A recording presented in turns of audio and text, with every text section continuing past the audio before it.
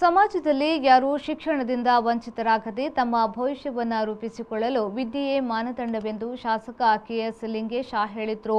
ಅವರು ಆಲೂರು ತಾಲೂಕಿನ ಪಂಚಾಯತ್ ಕಚೇರಿ ಬಳಿರುವ ಶಾಸಕರ ಭವನದಲ್ಲಿ ಏರ್ಪಡಿಸಿದ್ದ ಕಟ್ಟಡ ಹಾಗೂ ಇತರೆ ಕಾರ್ಮಿಕ ಮಕ್ಕಳಿಗೆ ಶಾಲಾ ಕಿಟ್ ವಿತರಣಾ ಕಾರ್ಯಕ್ರಮದಲ್ಲಿ ಮಕ್ಕಳಿಗೆ ಕಿಟ್ ವಿತರಿಸಿ ನಂತರ ಮಾತನಾಡಿದರು.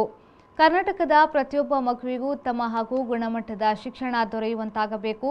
ಅದಕ್ಕೆ ಸರ್ಕಾರ ಹಲವಾರು ಯೋಜನೆಗಳನ್ನು ಜಾರಿಗೆ ತಂದಿದ್ದು, ಏಕರೂಪ ಶಿಕ್ಷಣ ಜಾರಿಗೆ ತಂದಿದ್ದು ಅದರಲ್ಲಿ ಹೆಚ್ಚು ಒತ್ತು ನೀಡುವ ಉದ್ದೇಶದಿಂದ ಹಲವಾರು ರೂಪುರೇಷೆಗಳನ್ನು ರೂಪಿಸಿದೆ ಎಂದು ಹೇಳಿದರು.